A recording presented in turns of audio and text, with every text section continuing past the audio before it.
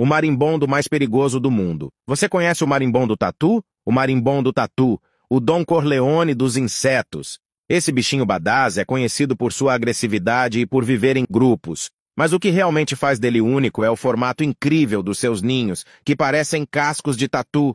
Como um verdadeiro gangster, ele escolhe árvores robustas para construir seus ninhos, que podem atingir o tamanho nada modesto de um metro e meio. É como se tivesse sua própria mansão da ostentação. Com uma aparência de vilão do filme, o marimbondo tatu é coberto por uma capa preta e tem manchas azuis metálicas para dar aquele toque de estilo.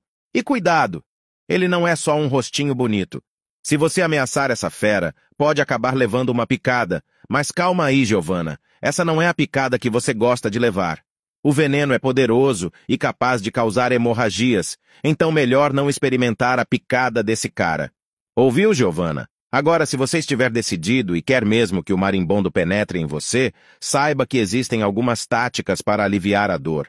A primeira delas é aplicar gelo na área picada, ou você pode fazer uma máscara de barro e colocar sobre o local.